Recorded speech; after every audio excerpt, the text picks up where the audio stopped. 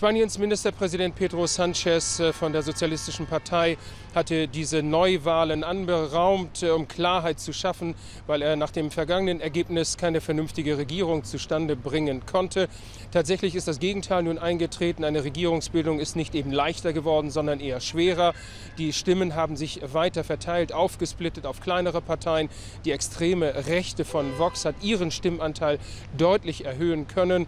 Grund dafür ist unter anderem die Krise in Katalonien. Äh, wir haben alle die Bilder gesehen äh, nach der Unabhängigkeitsbewegung von den Ausschreitungen dort. Und Vox hat die Regierung doch sehr hart kritisiert, attackiert dafür, dass sie nicht genug tue, um Spaniens Einheit zu retten. Man hat drastischere Maßnahmen gefordert und damit hat Vox bei den Wählerinnen und Wählern hier in Spanien ganz offensichtlich gepunktet.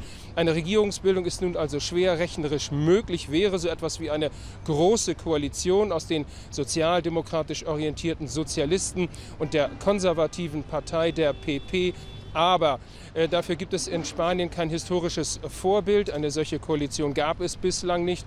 Und die ideologischen Gräben zwischen diesen Parteien sind deutlich weiter und tiefer, als das in Deutschland etwa der Fall ist. Darum haben Vertreter beider Parteien vor der Wahl ausgeschlossen, dass es zu einer solchen Koalition kommen könne. Und auch nachdem das Wahlergebnis dann gestern Abend sich abzeichnete, äh, haben Vertreter beider Parteien das noch einmal bekräftigt, dass man nicht zusammenarbeiten wolle. Aber Pedro Sanchez hat nun in der Nacht gesagt, ähm, alle müssten ihrer Verantwortung hier in Spanien doch irgendwie gerecht werden.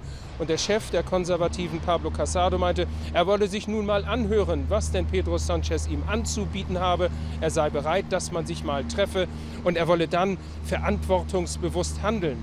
Es ist nur offen, ob dahinter nun wirklich eine Annäherung steht, eine mögliche, oder äh, ob beide nicht im Grunde genommen nur versuchen, hier dem Zorn der Bevölkerung zu entgehen. Denn die, das ist in den vergangenen Tagen deutlich geworden, auch in zahlreichen Gesprächen, die wir hier hatten, hat doch die Faxen inzwischen reichlich dicke davon, dass sie immer wieder an die Wahlurnen gebeten werden äh, und dass dann die Parteien hinterher immer wieder es nicht schaffen, sich zusammenzuraufen.